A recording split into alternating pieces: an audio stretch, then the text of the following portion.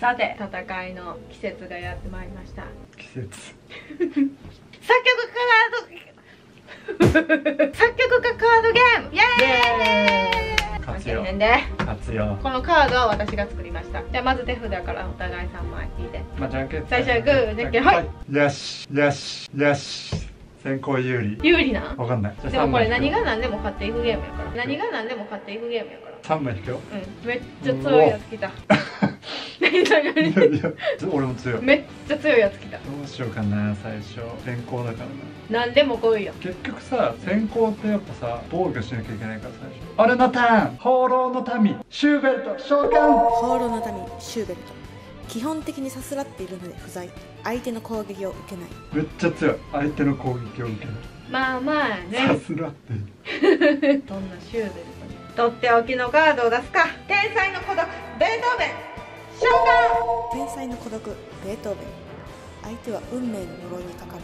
なんで横なの仲間になるボスみたいなの来た。シューベルト相手の攻撃を受けないとなっているがベートーベンとなると話は別。シューベルト。ベートーベンの憧れ発動。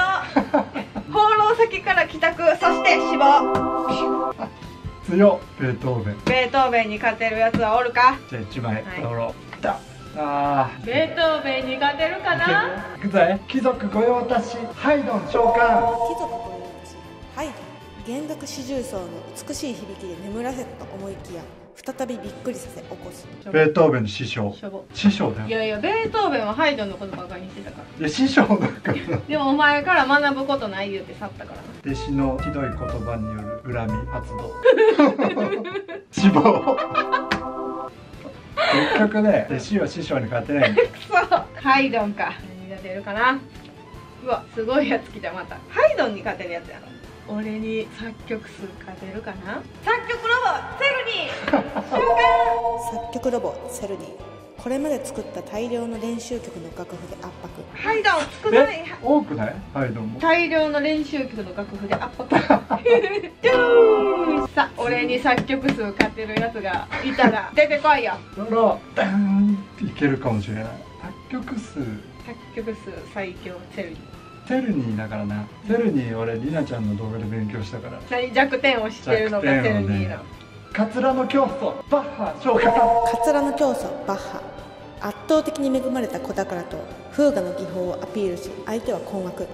何が勝てるんだ私に。バッハっていうのはめっちゃリア充なんですよ。セルニーはすごい孤独恋人いない結婚してない。めっちゃ子宝に恵まれ幸せで倒す。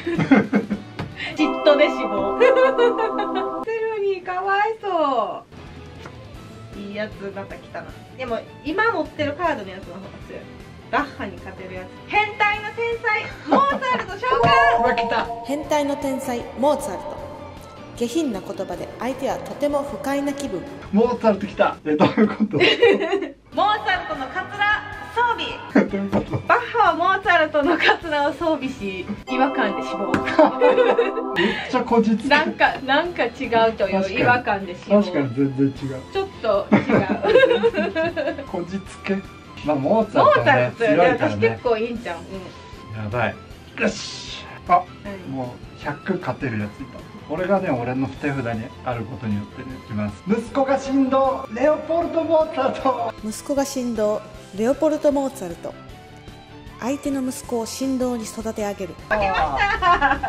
親父来ました。もうね逆らえないからね。お父さんごめんなさ相手の息子を振動に育て結局孫。孫。まあこれは問答無用でこれはちょっちともうモーツァルト負けや。はい。やばい。手札がもうちょっとすごい人たち出すぎてえもうしょぼいやつばっかり？いやいやいや。